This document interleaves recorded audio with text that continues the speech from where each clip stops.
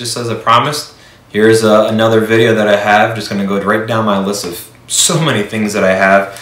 Um, recently picked uh, up a new uh, LAN cable and phone uh, cable tester uh, and actually even uh, RG6, I think it even does 59 on here too. But um, this thing is just an awesome, awesome little tester. As you can see, it's already been open.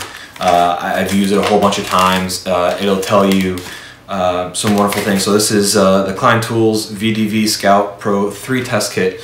Um, they have a bunch of different versions of this unit that you can get. Uh, I personally got this one off of eBay uh, just because it was a quarter of the cost of Amazon and, anywhere else that had it. Um, they have a bunch of different versions of it.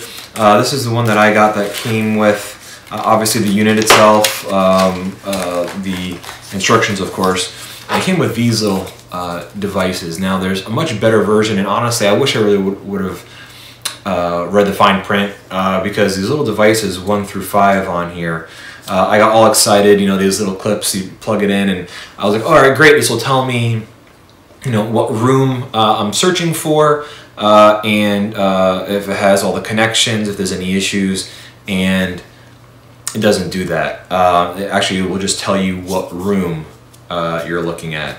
Uh, now before I get ahead of myself, uh, again, this, this, tool helps you find um, the uh, location of uh, cables where they go, where if the connections are good, if all the wires are there, and um, again, it's just all around a great cheap or inexpensive, should I say, uh, tool to use. There's some very expensive ones out there that will tell you uh, noise ratings and uh, speeds and things like that. This will only tell you whether or not uh, it has uh, the, the signal is there, um, which is a good and a bad thing.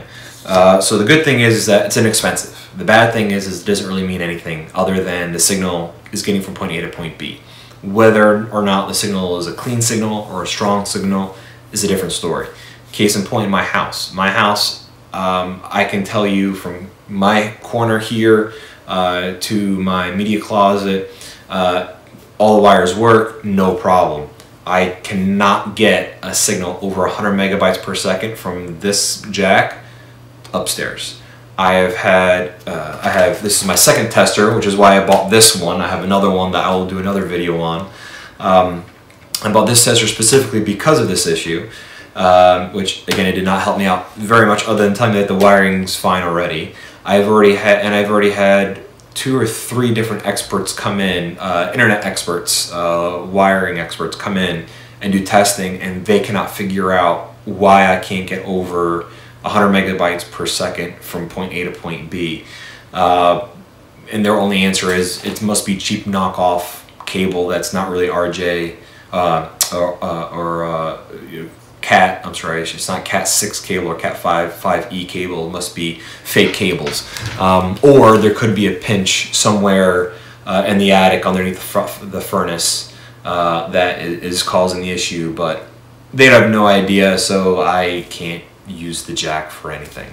Uh, or any of the jacks actually in my house. I had to rerun custom, uh, rerun custom wires uh, myself to a couple of the rooms.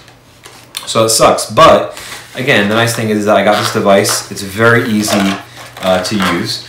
Um, again, some of the things that I wish I knew is that these, again, will only tell you what room you're connected to. It will not tell you whether or not the wiring is okay. Now, on the device itself, it comes with this little piece here.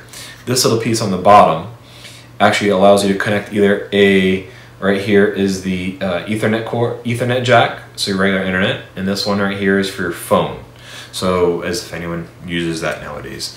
Um, but this will tell you whether or not your cable's good. So I have here a Cat 6 cable. This is brand new, as you can see. Um, still sitting here uh, wrapped up. So what this can do, pop it in here, and I'll pop it into the other side. This is just going to simulate what would happen if I plugged it, plugged this into the outlet here, and then just plug this into a jack uh, in, uh, up in the media closet. So I'm going to go ahead and just turn on the device here now, okay? And it's going to go ahead and start running its checks. It's, it's going to go ahead and tell me whether or not it's going to be connected. So I'm going to go ahead and say, all right, this is a, a, a network cable. So I hit the network button, and as you can see right here, it says 1, 1, 2, 2, 3, 3, 4, 4, all the way over to 8, okay? And they're all in alignment.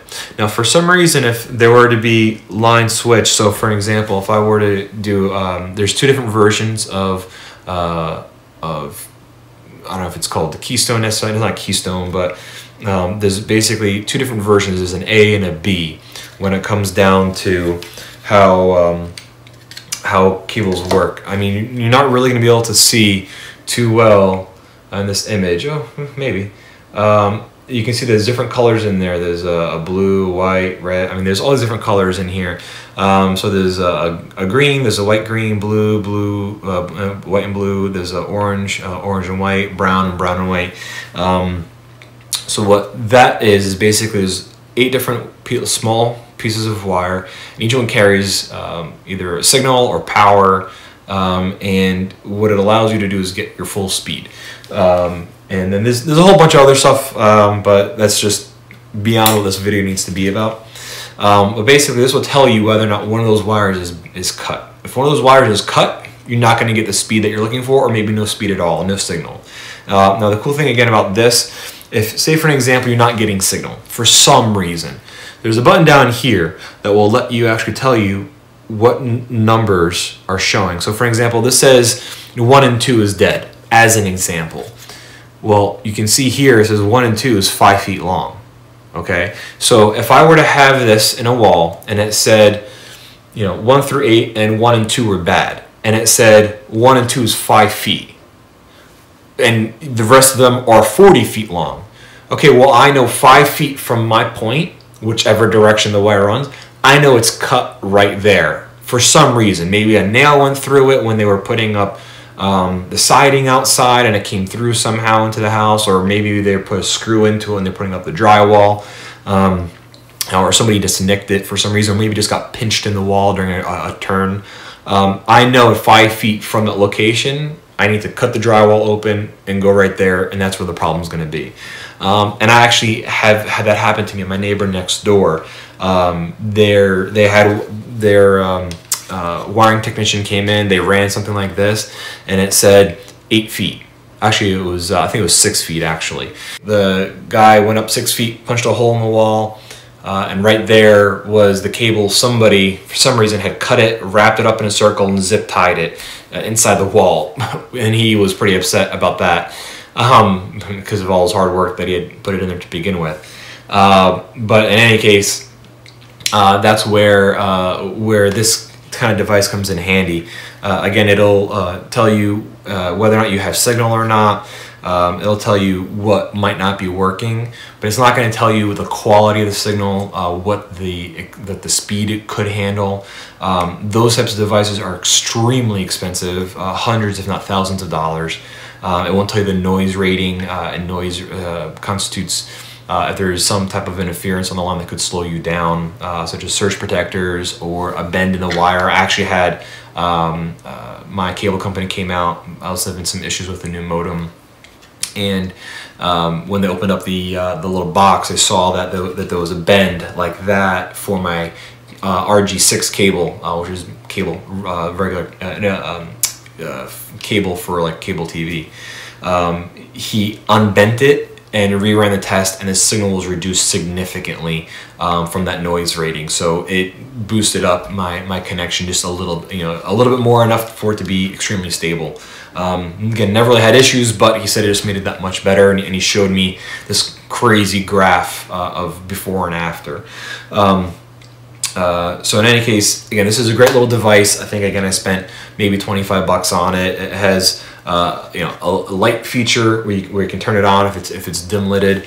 Um, I actually love this thing. I went to uh, a neighbor's house recently. A young man got uh, for Christmas a gaming computer, and he couldn't get internet for some reason in his in his bedroom. So he was literally plugged in uh, to the laundry room and had a table next to the laundry room so that he could play his, his new computer. I went over there, popped this in, turned it on, no signal. Uh, eventually trace it to they never hooked up to his room. Uh, literally, that was a dead spot that nothing was hooked up to it for some reason. Um, uh, you know, I only had two wires working because they had spliced into all this crazy stuff to his room. So for whatever reason, he has no idea. They're original owners, and anyhow, um, again, it's a great device. Uh, again, for 25 bucks, it, it, it's it's a nice little tool. Uh, again, I like how this goes right back into itself. You can have uh, live connection so you can have it continuously check over and over and over again whether or not the signal is there. So you can be you know punching in all the different uh, lines and you can see each one come on one by one to make sure that when you punch it in that it's in all the way that it actually has signal. Again for $25 can't go wrong. Uh, highly recommend it. Again this specific one is the uh, VDV Scout Pro uh, 3 uh, so it's VDV 501 uh, is the exact model number uh, again, I love it. it. Does again phone, uh, uh, Ethernet cables, and then also does uh, cable. Um, and again, if you can get the more expensive one that comes where with multiple pieces of these, they, they, look like this, just a little bit bigger, and it'll actually tell you the speed for each, or not speed, but it'll tell you the how the wires are, the status of each wire. Rather, this just tells you whether or not there's a wire there. Um, so this will just say, yep, number one located, number two located, number three located, versus the other one will be just like this and say, hey, number five is located and line four and six are not connected. Um, so again, uh, and I think that one was, it was 40 $50 more, but it would have been so much better than having this. This, to me, in a way, is just useless other than hey, yeah, I got signal. Well, once I know I have signal in that location, I now have to go plug this device in so that way I can know whether or not the signal is even going to work once I actually hook up a computer to it. Uh, again, it's nice to have around the house, especially for troubleshooting uh, or for situations like this. I got a new Ethernet cord. I want to make sure that it's actually working uh, instead of just plugging it in and crossing my fingers that I trust the manufacturer that they actually gave me a, a good cable. Um, again, highly recommend it.